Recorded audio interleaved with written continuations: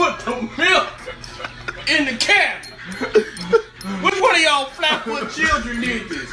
It wasn't me. Bro, I didn't have no cereal this morning. I don't remember. It was y'all two that had the cereal this morning.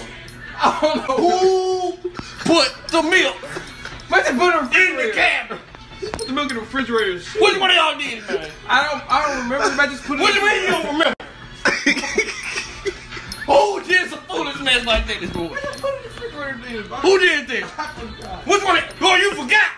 Yeah, So you- sure you- me or So it was you. Baby, I don't know. You just said I forgot. I don't remember. It was you then. I might have done it.